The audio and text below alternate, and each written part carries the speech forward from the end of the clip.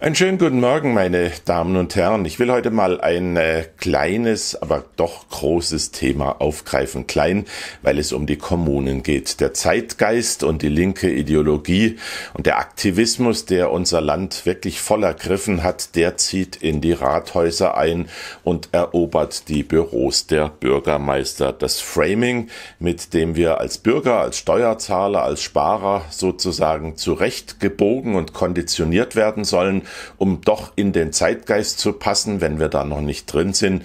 Das nimmt zu und das hat die kleinste politische Ebene im Land erreicht.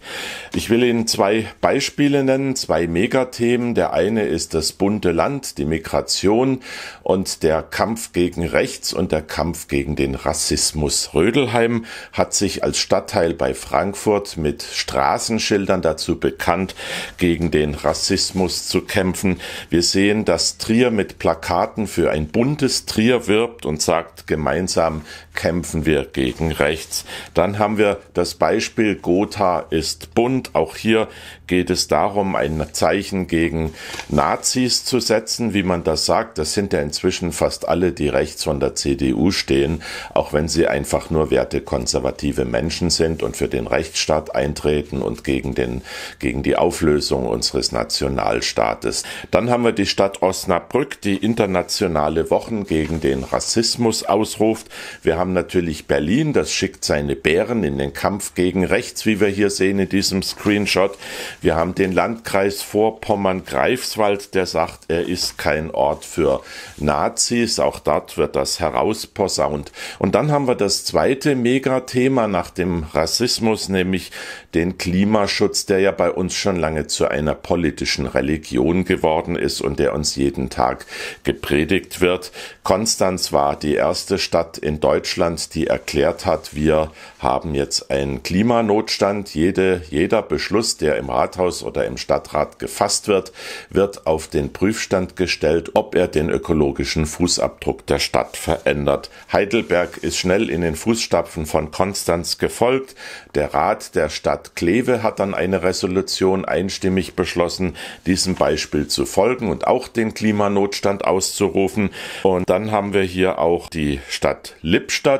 Und hier sehen wir in diesem Screenshot, es gibt natürlich jedes Mal bei einem solchen Beschluss Politiker, Beamte, Bürgermeister, die sich zu profilieren versuchen, die dann für die Galerie ausrufen, ja, ich habe da teilgenommen, ich habe da mit abgestimmt, ich kämpfe auch gegen den Klimanotstand. So oft wie möglich wird das ja herausposaunt im Rahmen des Zeitgeistes. So, das jüngste Beispiel konnte man heute Morgen, ich habe das nicht gemacht, ich gucke mir das nicht an, im ZDF Morgenmagazin gesehen, der Oberbürgermeister von Düsseldorf, Thomas Geisel, der sich zuversichtlich gegeben hat, dass dass sein Stadtrat heute auch diesen Beschluss fassen wird.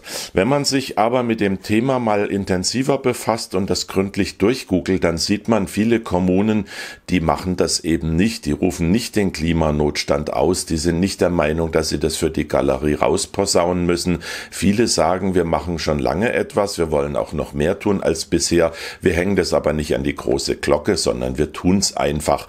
Und äh, bei kleinen Zeitungen im Unterschied zum Mainstream, zu den großen Zeitungen, Zeitschriften und den TV-Anstalten im Zwangstv sieht man, dass es da auch durchaus kritische Positionen gibt. Zum Beispiel hier beim Schwäbischen Tagblatt.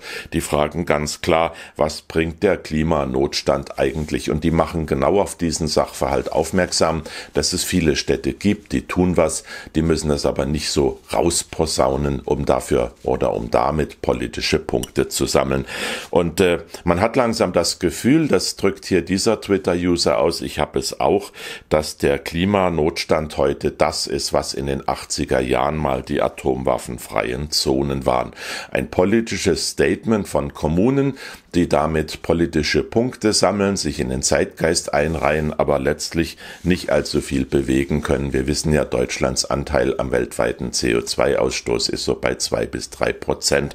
Und ich habe meine Zweifel, dass wir mit dieser Zahl viel machen könnten. Man könnte zum Beispiel mal, und das spielt in der Diskussion ja gar keine Rolle, überlegen, ob man das viele Geld, das man investieren will, nicht dort investiert, wo es mehr Effekt hat als in Deutschland, durch gemeinsame internationale Projekte. Und eine Bewegung, die sich als weltoffen und tolerant versteht und alle Grenzen auflösen will, die müsste das eigentlich auch verstehen.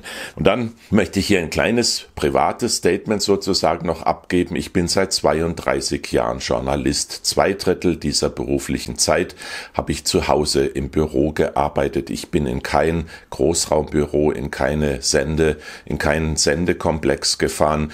Ich habe ungefähr 400.000 Kilometer in dieser Zeit nicht gefahren.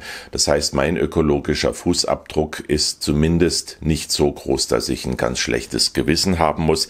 Ich nehme das Thema aber trotzdem ernst und deswegen schließe ich mich dem Aufruf oder dem Ruf von Stefan Slabi hier auf auf Twitter. Ich zitiere ihn mal, es wird Zeit für einen Aufruf an alle Sightseeing-Touristen. Meidet systematisch Städte im Klimanotstand und helft damit, deren CO2-Bilanz zu verbessern.